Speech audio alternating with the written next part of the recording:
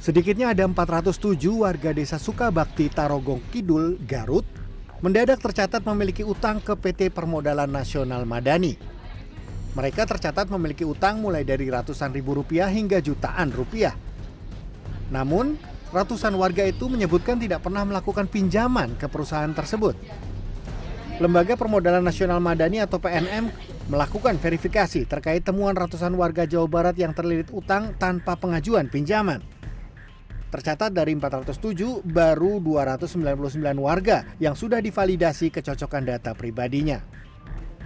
Menurut pihak pemberi pinjaman, mereka memastikan proses verifikasi ajuan pinjaman menggunakan identitas asli yang didokumentasikan.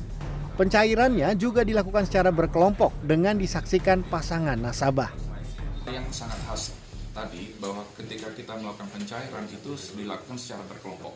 Hmm.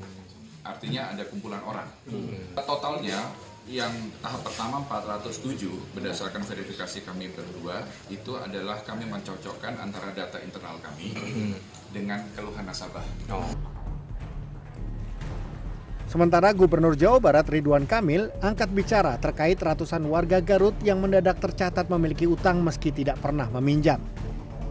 Menurut Gubernur Jawa Barat Ridwan Kamil, kini tengah dilakukan penyelidikan oleh pihak kepolisian Resor Garut. Ia menyerahkan semuanya untuk diperiksa dan ditindaklanjuti. Sedang dilidik di Polres, kita serahkan ke kepolisian. Tapi solusinya banyak. Salah satunya kredit mesra Jawa Barat tanpa bunga tanpa agunan bisa diakses sebagai solusi.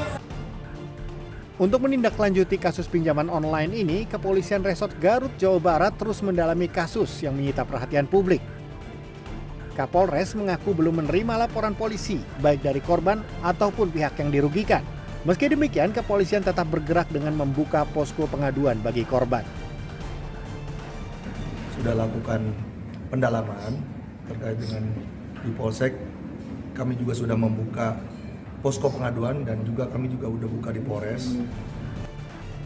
Kejadian pinjaman online ini terungkap usai beberapa warga tiba-tiba ditagih cicilan utang oleh petugas PNM.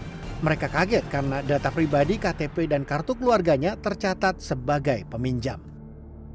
Tim Liputan CNN Indonesia